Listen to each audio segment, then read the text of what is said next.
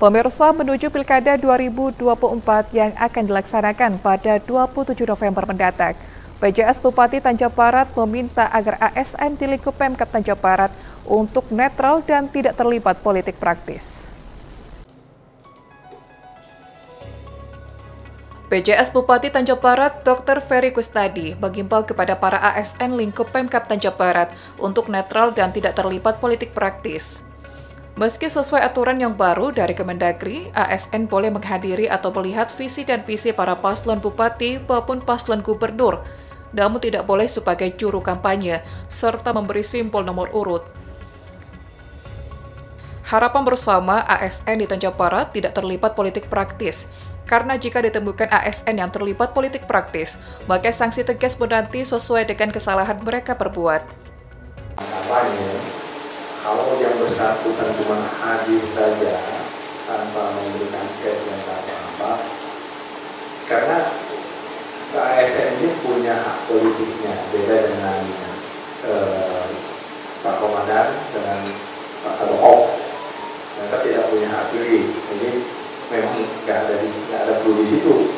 Nah kalau ASN ini punya hak pilih, jadi dia boleh dengan visi misi itu, tapi tidak aktif, so, misalnya menjadi juru kampanye pula kan, ataupun yang aktif.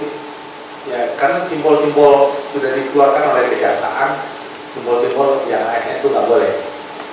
Ya kita sudah sudah paham tuh gambar-gambarnya. Menyebutkan kalau ini satu dua tiga kan satu dua tiga nggak boleh. Kalau empat boleh karena nggak ada nggak ada di hanya mau jempol yang keluar mau gini kek mau gini kek itu kan dari pak apa dari uh, di sini ada pak Kasih itu tapi itu sudah jelas itu keluar dari dari kejaksaan sudah jelas simbol-simbol ASN yang yang dilarang.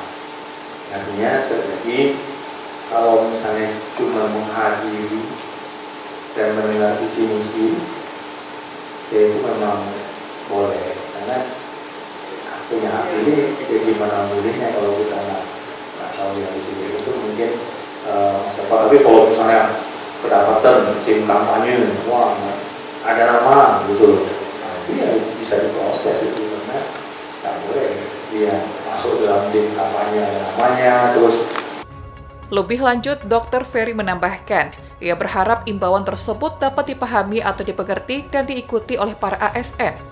Supaya pada momen pilkada ini, Bawaslu turut mengawasi gerak-gerik ASN dan hadir di setiap kegiatan paslon bupati.